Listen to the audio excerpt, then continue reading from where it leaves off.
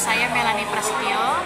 Saya pendiri dari komunitas Group Ministry dan tim menikmati Yesus. Group Ministry ini adalah uh, komunitas anak muda yang memiliki passion yang sama bagaimana menjangkau anak-anak muda uh, untuk bisa mengenal tentang kasih Kristus dan juga untuk mereka bisa mengenal panggilan hidup mereka masing-masing.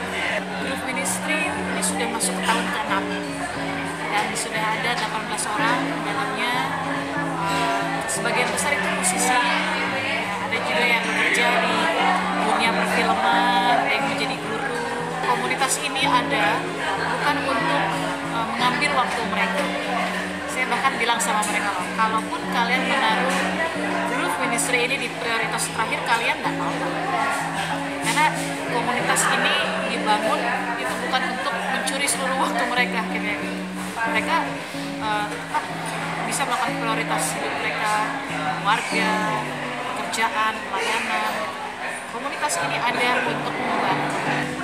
Nah kalau tim menikmati Yesus ini uh, bergerak betul-betul di dalam penginjilan. Nah ini sebagian besar anggotanya dari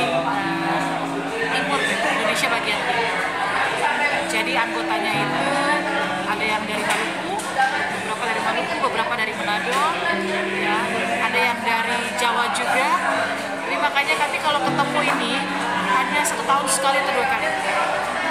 Jadi kita semuanya berdoa kota mana yang kita mau datangi untuk kita uh, sampaikan kabar baik. Jadi memang anak-anak muda di dalamnya itu semangat untuk penginjilan semangat untuk pelayanan mereka.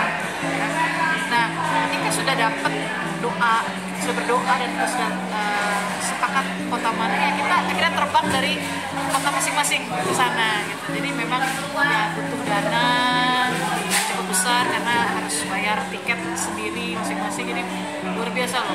Mereka betul-betul apa nggak nggak hitung-hitungan gitu. Kalau udah mengenal kasih Kristus, mereka bisa bagikan apa yang dalam diri mereka. Bahkan uang sendiri nggak ada dari donatur mana-mana kita semua uang pribadi yang saya lihat karena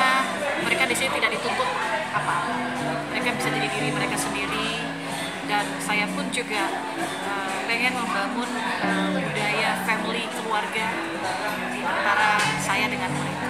Jadi tidak ada yang merasa lebih rohani tidak ada yang merasa lebih hebat pengalaman mana yang lebih banyak enggak. Kita tidak membanggakan itu. Yang kita banggakan adalah kasih Kristus yang kita sudah terima dan kita membagikan bersama. Ini itu yang saya lihat bagaimana anak-anak muda ini bisa enjoy ya ada dalam komunitas ini mereka bisa uh, ya sering hubungi saya untuk kapan kita kumpul. Ya itu suasana diterima ya, suasana dihargai dan uh, tidak melihat masa lalu.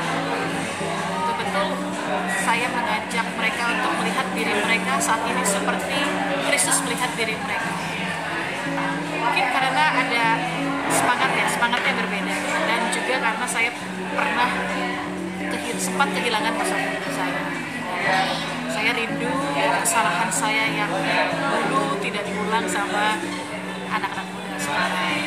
Bagaimana mereka bisa memakai masa mudanya dengan lebih baik prestasi jadi berkat keluarga jadi berkat di mereka sekolah kuliah bekerja. Di situ saya menguatkan mereka karena masa muda juga sebetulnya masa yang sukar ya bagaimana mereka kadang-kadang harus berjuang mempertahankan iman mereka berkata tidak sama narkoba berkata tidak kepada pergaulan buruk dan sebagainya. Tapi ada juga anak-anak muda yang punya pemikiran masa muda itu adalah masa di mana mereka bisa bersenang-senang sesuka hati mereka ya. Entah itu benar atau salah persoalan belakangan. Yang penting sekarang aku ngelakuin apa yang aku mau dulu. Nah jadi seperti itu. Ada yang bingung mempertahankan imannya tapi ada juga yang nggak peduli hidup sesuka hati sembarangan begitu jadi saya